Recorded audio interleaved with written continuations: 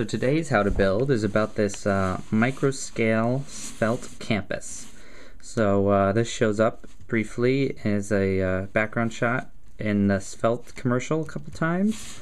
Um, but yeah, let's take a closer look at this. So um, most of the buildings on here are just like um, conical or round white pieces. So this is just a cone. This is just a one of those big cones and I've put some cool 2x2 tiles on top. So I think that's a Star Wars one film reel. These are sort of the cylinders with rocket pieces.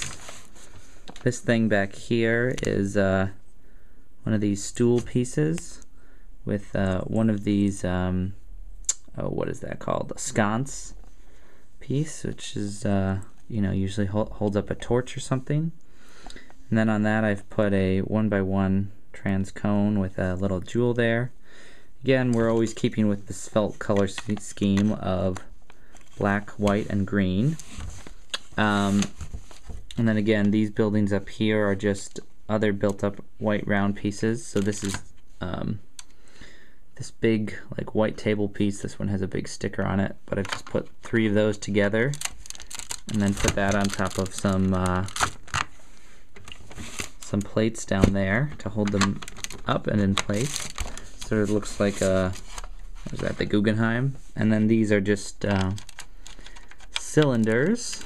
And uh, back here, this is a bunch of the macaroni shaped bricks with a cylinder in the middle. And just uh, radar dish on top, a little dusty. Again, uh, cylinders topped with um, the tiles. Then as far as the landscaping of this, the, the bottom bits are these um,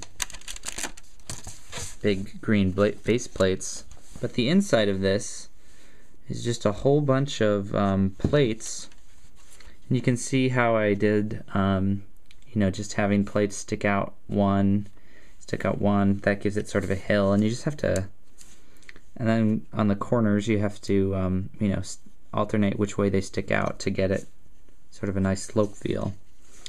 And over here I had some um, of the uh, plates that are have the cutoff, so that was really cool in terms of making it um, look uh, more hill-like and have a different shape to the landscaping rather than just being really blocky. Uh, and then I've got some little hills in the back that are just made out of you know, some 2x2 and 2x3 slope pieces with some tiles on the top. But um, yeah, I mean, uh, basically, when you're making landscaping, you just need to get a whole bunch of plates and just sort of try it out and see what looks good. Um, so yeah, that's basically uh, how I did this one. So uh, thanks for watching.